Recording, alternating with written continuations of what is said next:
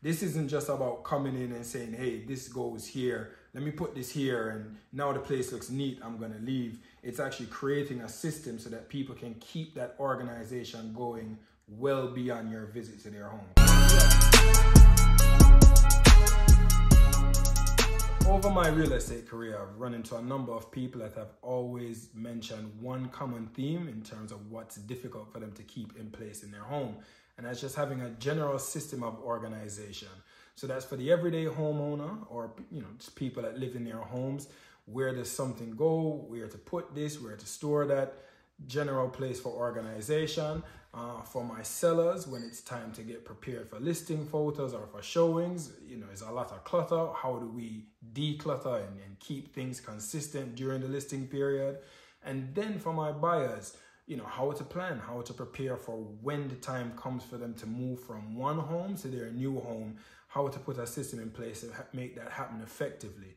So with that being the case, um, I thought it would be a great idea to connect with a great friend and colleague, uh, Miss Gerica Brogden, who is the owner and operator of To Be Organized Atlanta. And she's going to share with us some tips and insights from a professional organizer standpoint that will help you, whether you're a homeowner, uh, someone looking to sell, or someone that has recently purchased, how to create a system of organization for your home. So before we jump into that, Gerica, appreciate your time. Of Always course, good to connect with you. Um, I would say certain things about what you talked about before we got on camera, but I'm gonna leave that alone. Gerica has nicknames for people, and I think it's inappropriate. But we'll move past that. So back on a serious note, um, before we kind of get into it, I know I, I gave an overview of what the challenges are for most of us as homeowners, including myself and Star, as you're well aware of. But tell me, what is a professional organizer? So basically, a professional organizer is a person who really is an expert because we like to go into your house, kind of get a feel of how you live in your everyday, what your problem areas are, what your pains are, and come up with a solution that will be able to work for you once we leave. We don't want to leave and then everything's back in a mess. We want to come there and evaluate your home, say, okay, this is your problem area. Here are solutions. We know how to pick out the perfect product without you having to go to the container store and Target picking out a lot of things that don't fit. You know, we know exactly what products that are best for your space and we'll implement that system, you know, show you how to keep it up once we leave because unfortunately we can't live with you guys, mm-hmm. but that way you can keep it up on your own. So we're Okay. pretty much just experts in all spaces in a home. All right, so you say all spaces in the home, and I take it that means garages as well. And one of the key things I know you mentioned was systems. So if I'm understanding correctly, this isn't just about coming in and saying, hey, this goes here, let me put this here, and now the place looks neat, I'm gonna leave. It's actually creating a system so that people can keep that organization going well beyond your visit to their home, correct? Yes, exactly. Just so even though whatever products that we pick, it'll be something that works for you, was something that you like, even aesthetically for yourself. Mm-hmm. And once the things are there, you'll be like, oh, it's so much easier for me to put things back, to clean up, to find things, just depending on what space. And yes, you are correct. Garages, closets, pantries, Okay. any space. All right, so it makes a lot more sense to me now what a professional organizer uh-huh. is, right? And I can tell you, I couldn't be a professional organizer. and I like to put my things certain places, but whether it's gonna be there, you know, systematically, that's a whole different thing. But let me Most ask you a question. Professional organizer. My ten years of real estate, I can't say that I've met and had a relationship with another professional organizer. Uh huh. What led you down the path to becoming a professional organizer? Um, well, I was in corporate for uh, like 10 years and then I realized like I don't love this and I really want to do something that I'm passionate about and that, you know, helps people. Uh, since I was a kid, I've always loved to organize, loved to clean. My mom has teased me my whole life about how particular I am. As, So as I- she should. No kids like to clean, so you definitely have a problem. Oh, I was, I'm the kid that likes to vacuum the rug for the lines in it. no, man, you have a problem. you have a problem. That we was need to cut the tape. That's madness. From a child, you used to like to keep the place I would clean and keep tidy. everything clean. You know what I think you should do? Forget the organizing thing. We What? have a son named Cairo. Okay. He's a madman.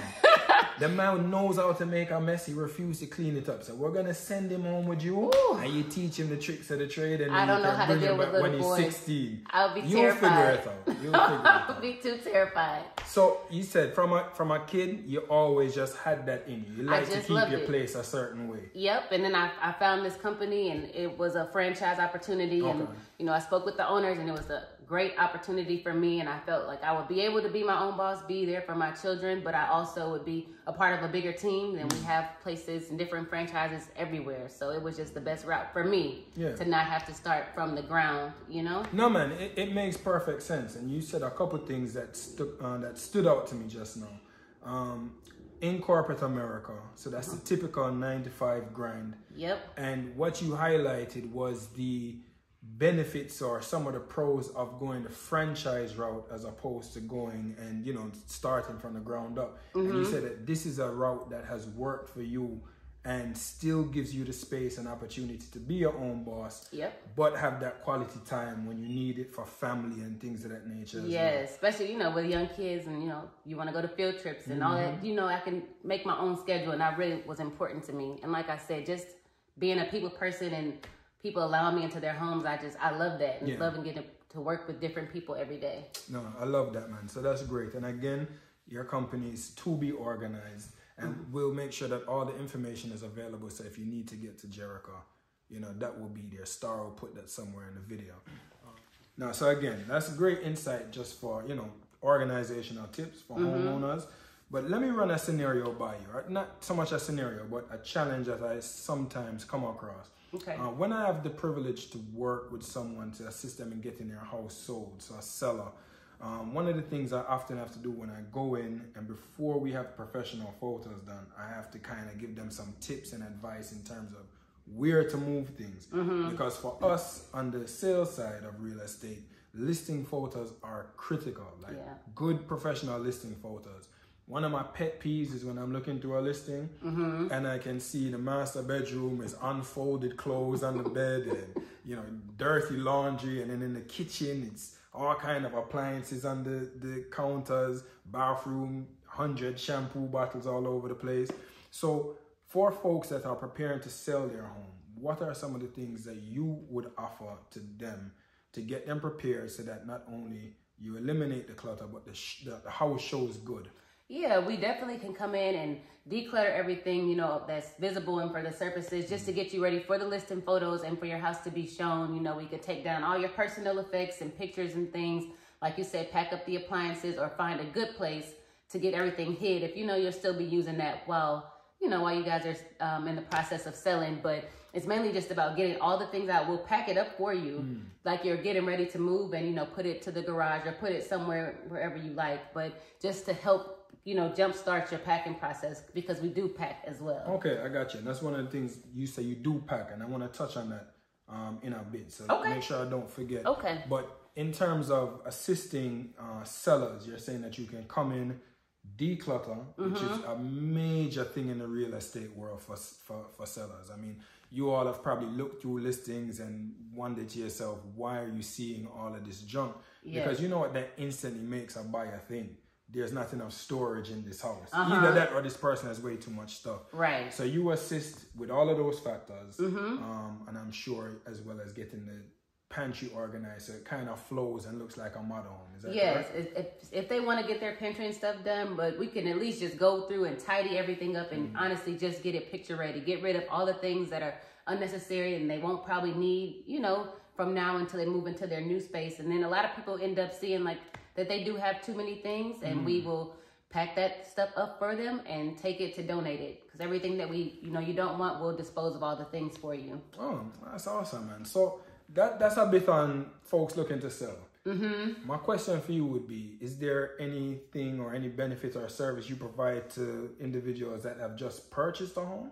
Yeah, so it, it's very easy. Actually, if you have just purchased a home, you know, even before you've actually moved your things in, um, we can go in there and get all the devices in place for you to have your system in place before you even move all your stuff in. And like I said, we unpack as well. We'll get to that. Mm. But you know, we can go get all the stuff that goes for your drawer organizers, get all the things set up for the pantry, set up all the labels, get all the things in the closet, you know, for your hats to hang, all the things that you need before you even move in. So once you're unpacking, you're like, oh, this is where this goes, you know? It makes it so much easier. Makes sense. And I'm, I'm going to be totally honest. I think Gerica is being very modest in terms of what she offers because here's something that I have experienced both personally and professionally. If you think about this, if I have an unorganized house, I sell that house and I'm moving into my new home, what I'm probably going to do is take that same unorganization and move it to the new house.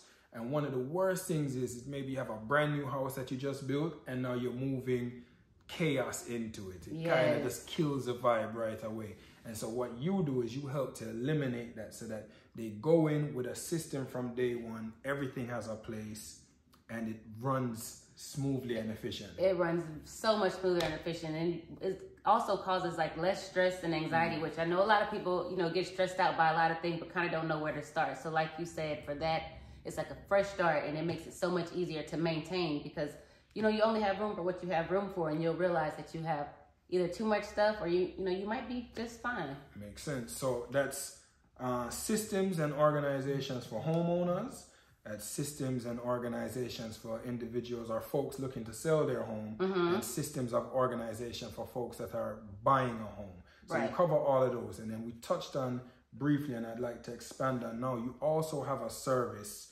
um, for folks that are moving, which mm-hmm. is around organization as well. So tell us a little bit about that. Yeah, so it's basically our whole move management umbrella. So we can come in, we can assess what you have in your house uh, we'll pack it up, you know, label all the boxes.